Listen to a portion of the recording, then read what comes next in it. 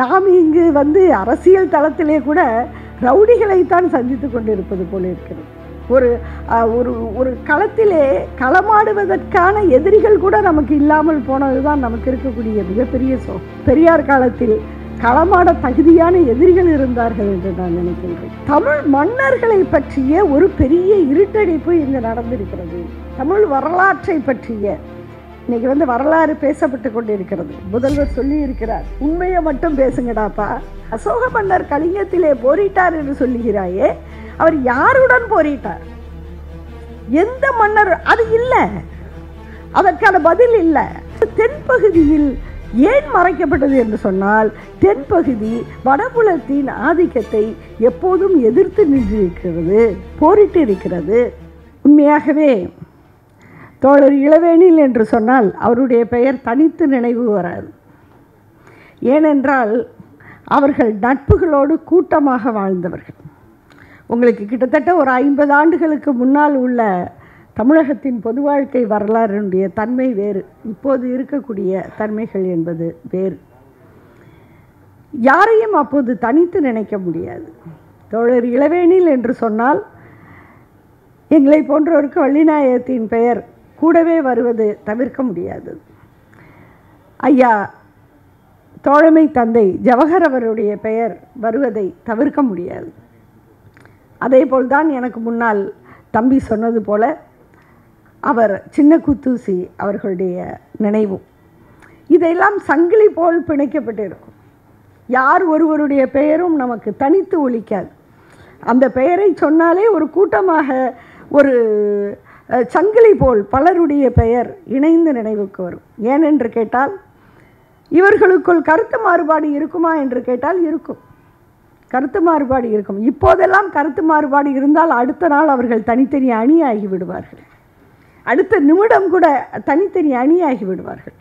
ஆனால் எத்தனை கருத்து மாறுபாடுகள் இருந்தாலும் தோழமை என்கின்ற ஒரே அணியில் இருந்தவர்கள் அப்போது இருந்தார்கள். இன்னைக்கு இன்னைக்கு இந்த மேடையிலே கூட இளவேணியில் அவர்களுடைய பெயரை உச்சரிக்கும் போது நான் உச்சரித்த பெயரில் யாருமே இப்போது நம்முடன் இல்லை. எல்லோரையும் நாம் இழந்திருக்கிறோம். மிக நீண்ட பெரிய தோழர்களுடைய பட்டியல் வாழ்க்கையிலே இருந்து காணாமல் போயிருக்கிறது.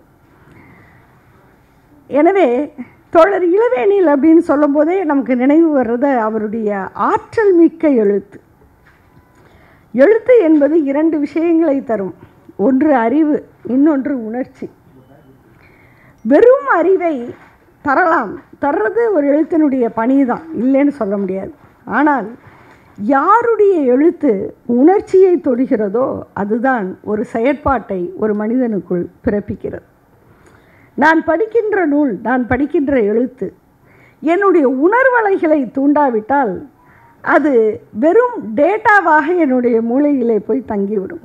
ஒரு தகவலாக ஒரு செய்தியாக என்னுடைய மூளையிலே அது பதிந்து விடுகிறது. ஆனால் எந்த ஒரு எழுத்து என்னை உசுப்புகிறதோ என்னை அசைத்து பார்க்கிறதோ அந்த எழுத்துதான் நான் இந்த சமூகத்தில் ஒரு காரியத்தை செய்வதற்கு என்னை உந்தி தள்ளுகிறது. அப்படி ஒரு ஆற்றல் மிக்க எழுத்தாளர் தோழர் இளவேணி ஏன் இந்த தமிழ் சமூகம் மிக பெரிய ஆற்றல் உள்ளவர்களாக அவர்களையெல்லாம் முன்னணியில் நிறுத்தி கொண்டாடவில்லை என்பது தமிழ் சமூகத்தின் இழப்பு என்று நான் கருதுகிறேன். இது தமிழ் சமூகத்தின் இழப்பு தான். யார் யாரையோ ஆற்றல் உள்ளவர்கள் என்று கொண்டாடுகிறார்கள். யார் யாரையோ திறமையானவர்கள் என்று பார்த்து பார்த்து ரசிக்கிறார்கள். இந்த தமிழ் சமூகம் இன்று பார்த்து ரசிக்கிற பல பேரிடம் நமக்கு ரசிப்பதற்கு ஒன்றுமே இல்லை அப்படிங்கிறது நமக்கு பார்க்கும்போதே தெரிகிறது. ஆனால் அடாடா என்ன ஒரு ஆற்றலான எழுத்து?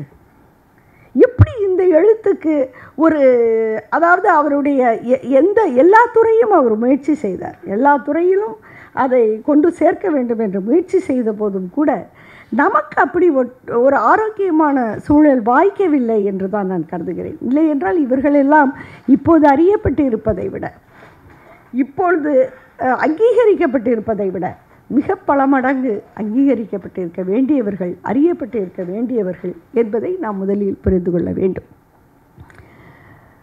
தோழர் இளவேணில் அவர்களுடைய அவங்களாம் ஒரு முக்கியமான புள்ளி. இளவேணிலாக இருக்கட்டும் ஜவஹராக இருக்கட்டும் சின்ன குத்தூசியாக இருக்கட்டும்.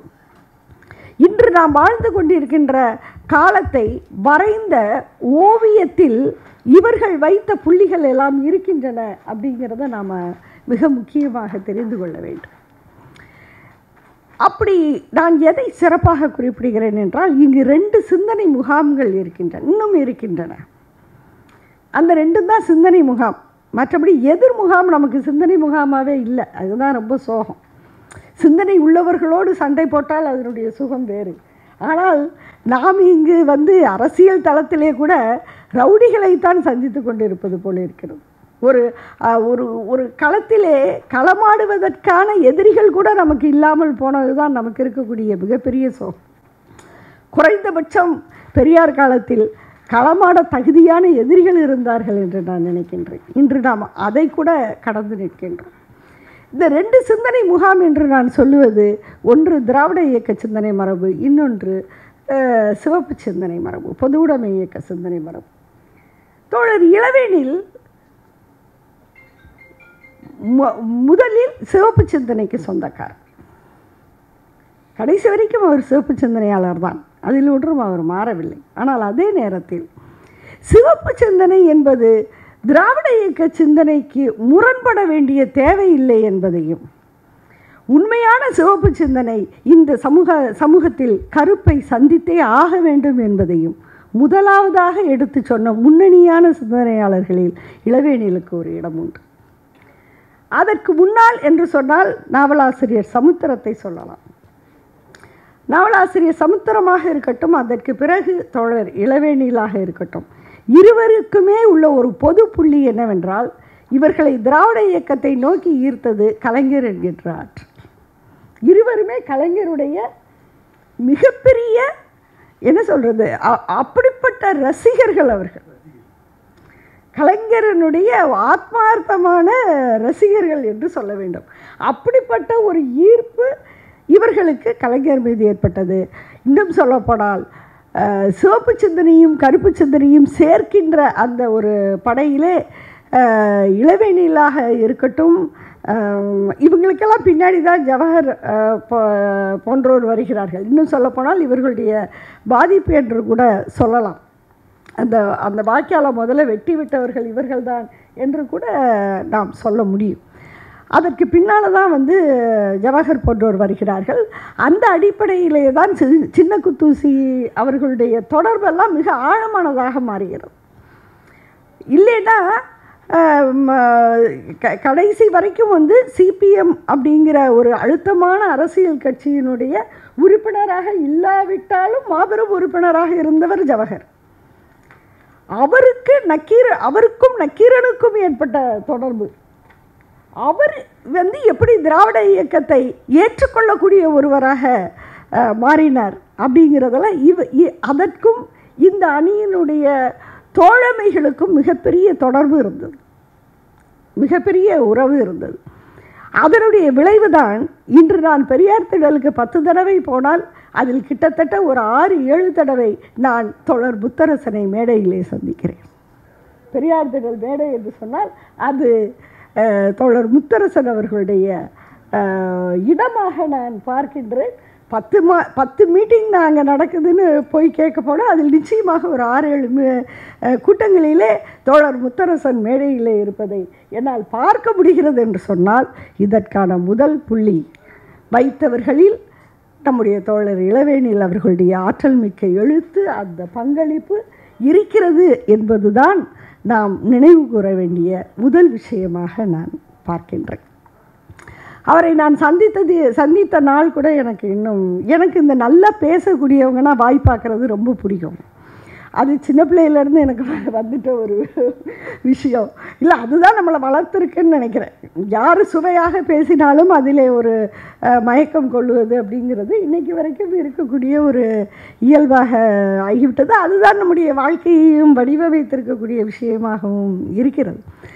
அப்படித்தான் இவரையும் எனக்கு அந்த புரட்சி கவிஞர் பேரவை மதுரையிலே காக்காத்தோப்பு தெருவில் இருக்கக்கூடிய புரட்சி கவிஞர் பேரவை வாசலிலே தான் இவரை முதல் முறையாக வள்ளிநாயகம் எனக்கு அறிமுகம் செய்தார். தோழர் இளவேனில் அப்படின்னு அறிமுகம் செய்த உடனேயே பொதுவாக எனக்கு நன்றாக நினைவு இருக்கிறது. தோழர் என்று அறிமுகம் செய்துவிட்டால் அவங்க அவ எந்த தோழரும் எங்களுக்கு புதியவராக காட்சி தந்ததே கிடையாது. உடனே அவர்கள் பழையவர்களாக தான் எங்களுக்கு ஆகிவிடுவார்கள். அடுத்த நிமிடம் எங்களுக்குள் உறவு ஏற்படுவது என்பது மிக எளிதாக சாத்தியமாகக்கூடிய ஒரு விஷயமாகத்தான் இருந்தது. இன்று தான் எங்களுக்கு ஏதோ ஒரு கொஞ்சம் ஒரு அந்நியத்தன்மை இந்த தலைமுறையிலே வருவது போல தோன்றுகிறது. அன்று அந்த ஒரு ஈர்ப்பும் ஈடுபாடும் மிக அதிகமாக இருந்தது.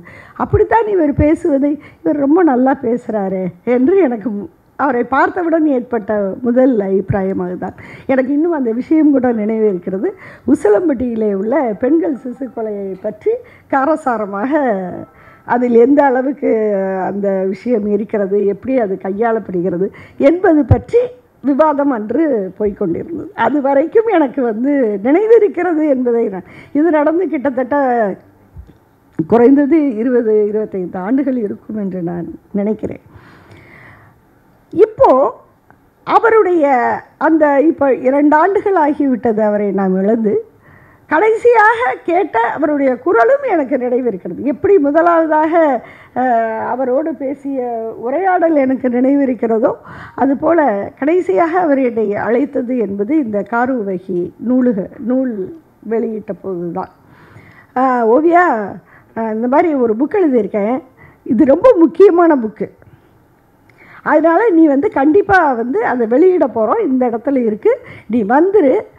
வந்துட்டு நீ அந்த புத்தகத்தையும் படிச்சுட்டு என்கிட்ட பேசணும் அப்படின்னு வந்து இதுதான் அவர் கூறிய அந்த கடைசி வரிகள். ஆனால் என்னால் அந்த நிகழ்ச்சியிலே கலந்து கொள்ள முடியவில்லை. நான் அதற்கு போகவில்லை.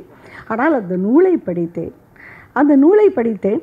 ஆனால் அது எனக்கு அப்போது விளங்கியதை விட இப்பொழுது ஒரு மறுவாசிப்பு செய்யும் பொழுது வேறு ஒரு பரிணாமத்தில் எனக்கு அது புலனாகிறது.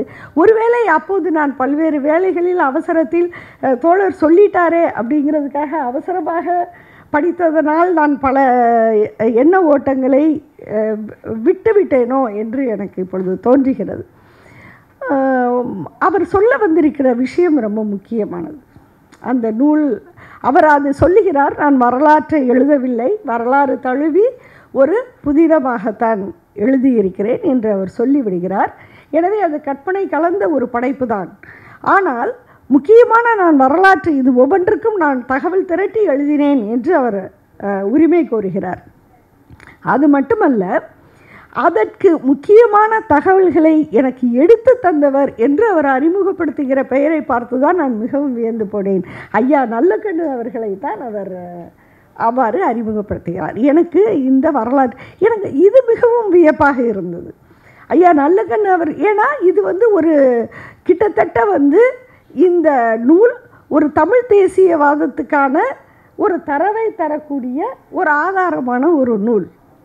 காருவகி என்கின்ற நாவல். அதனுடைய கட்டமைப்பு அது எழுப்பி இருக்கிற கேள்விகள் அது முன்வைத்திருக்கிற விஷயங்கள் மிகவும் வியப்புக்குரியவை.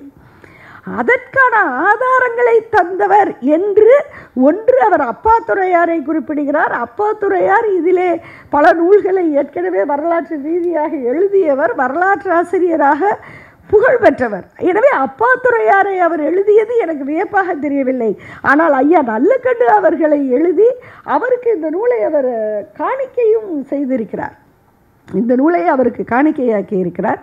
அது எனக்கு வந்து மிகவும் வியப்பாக இருந்தது. நேருவை கூட அவர் ஏற்றுக்கொண்டு காணிக்கையாக்கி இருக்கிறார் என்பது எனக்கு இன்னும் கொஞ்சம் ஆச்சரியமாகவும் இருந்தது.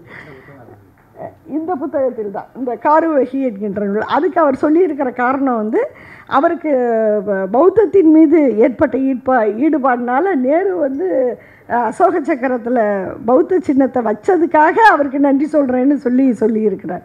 அதாவது ஒரு கருத்தை ஒரு கருத்து நான் தான் சொன்னேன் நான் ஒரு ஐம்பது ஆண்டுகளுக்கு முன்னாடி உள்ள பொது வாழ்க்கையில் உள்ள தலைமுறை என்பது கொஞ்சம் அதனுடைய ரத்த ஓட்டமே வேறு.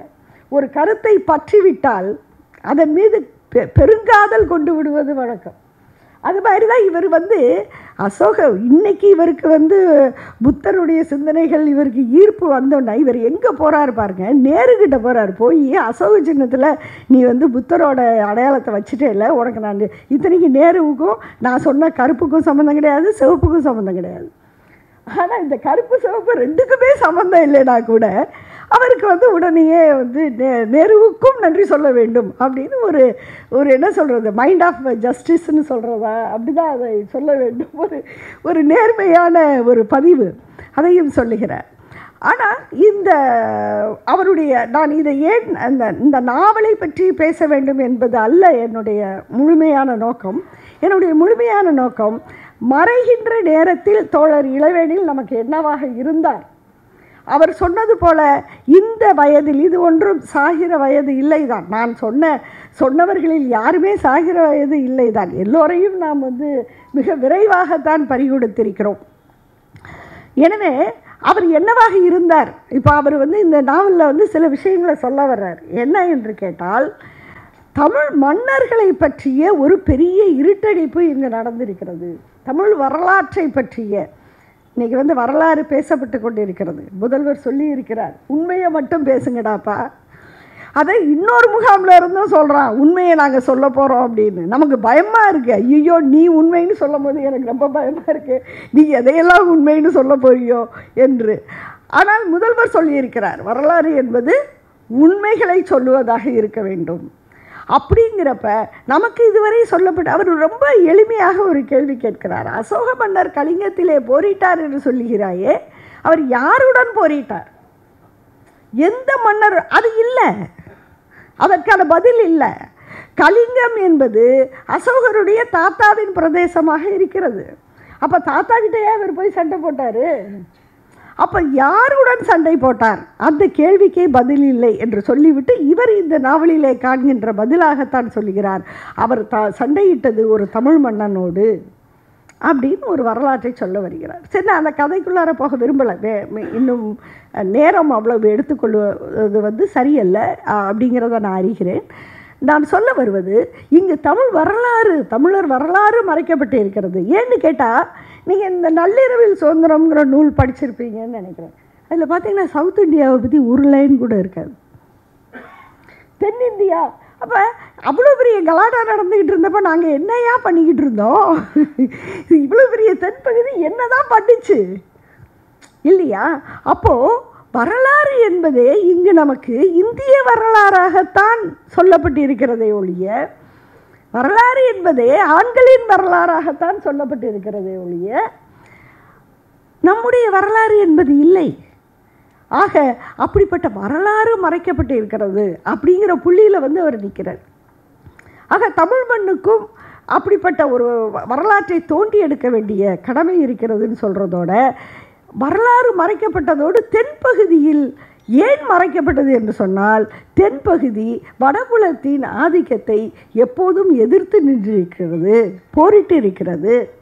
ஆதிக்கத்தைனா வெறும் ஆதிக்கத்தை மட்டும் இல்லை அவர்களுடைய சாஸ்திரத்தை புராணத்தை அந்த நம்பிக்கைகளை எதிர்த்து அது நின்றிருக்கிறது என்கின்ற புள்ளியிலே வந்து அவர் நின்றிருக்கிறார். இந்த பயணத்தை அவர் தொடர்ந்திருப்பாரேயானால் நமக்கு மிகப்பெரிய நன்மைகள் தமிழ் உலகத்துக்கு தமிழ் சிந்தனை உலகத்துக்கு தமிழ் இலக்கிய உலகத்துக்கு. ஒருவர் இப்படி அனைத்திலுமாக பங்களிப்பு செய்ய முடிவது என்பது ரொம்ப அரிதான விஷயம்.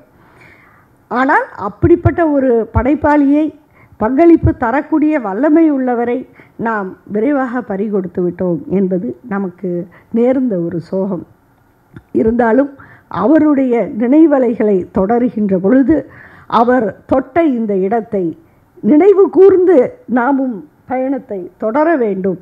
தமிழ் வரலாறை மீட்டெடுப்பது தமிழர் வரலாறை மீட்டெடுப்பது என்பது தோழர் இளவேனில் அவர்களுக்கு செய்யக்கூடிய சரியான நினைவஞ்சலியாக இருக்கும் என்பதனை மட்டும் எடுத்து வைத்து இந்த வாய்ப்புக்கு நன்றி கூறி விடைபெறுகிறேன். நன்றி வணக்கம்.